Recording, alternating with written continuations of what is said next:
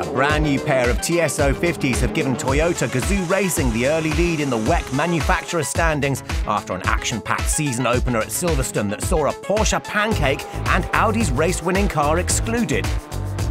While rivals faltered, it was a promising start for Toyota, who built their car from the ground up to take on LMP1's big guns.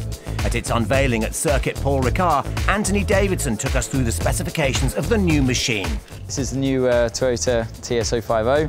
It's a new challenger for this 2016 season. Last year's car was just an evolution of the, the championship winning TS040. After the disappointments of last year, we had to scrap it all, build a totally new car.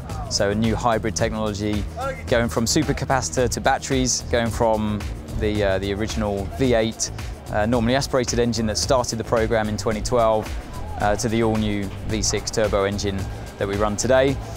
And a brand new chassis, new aerodynamics, and even the steering wheel is new. So uh, only the drivers are the, uh, the, old, the old bits.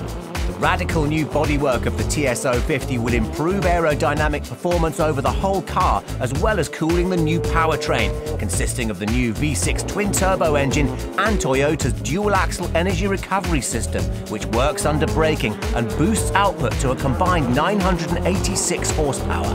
We're running the front and rear motors to harness the kinetic energy under the braking, so circuits like uh, Le Mans or Bahrain, the real heavy braking circuits lend itself well to this system. They're big motors, they almost weigh as much as me, but that's not much, I guess. But it's uh, you know one at the front, one at the rear. One at the front does most of your braking to start off with when the load goes forwards, but then you've got the rear motor as well um, to take you deeper into the corner. The TS050's predecessor won five out of eight races to win the 2014 championship, but after last season's disappointments, Toyota hope their new LMP1 hybrid will be competitive for this year's campaign. For us, you know, the World Championship has been won already in 2014. We did a great job that season.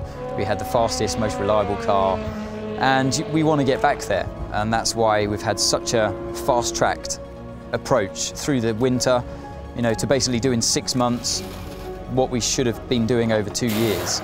Uh, bringing everything together, you know, with a new engine and new battery system, that should have been trickle-fed through one year to the next.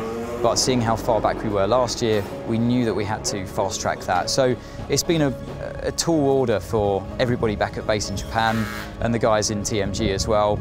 But you know, you can see the car behind me, they've done it, it's there in the flesh, it goes well, it gives the driver a good feedback behind the wheel, and hopefully it's enough. We're going to keep that new design concept going, and we're hoping to uh, mix it with the, uh, the, the finest in LMP1 for this season.